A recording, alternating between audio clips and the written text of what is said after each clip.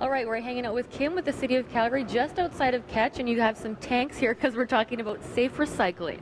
We are today. So, household hazardous waste items like helium tanks and propane canisters should be safely disposed of not in your blue or black cart. And these are even if these items are empty.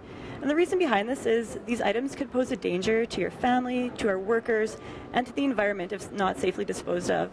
Now, your collector or worker at the recycling facility could be seriously injured if one of these items is punctured by equipment and then explodes. So what? Yeah, because the risks are quite great, and even you know in your home. So let's relay that to people. Absolutely. So there are nine convenient locations to drop these off throughout the city. Uh, for a list of these items, you can visit um, calgary.ca/waste or call 311 for more information. And so, just to give people an overview and an idea of what you do take, so give us a list of the items.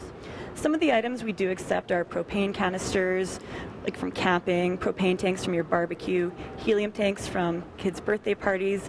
We also accept weird things like nail polish remover, nail polish, also car batteries, paint, things like that.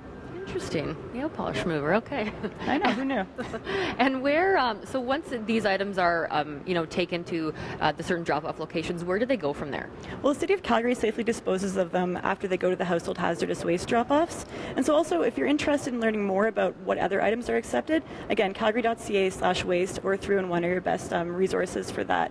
Now, last year, Calgarians recycled properly, not in the blue cart or black cart, over 13,000 propane and um, helium canisters at our nine household hazardous waste drop offs, which was pretty amazing. A huge, significant rise from previous years.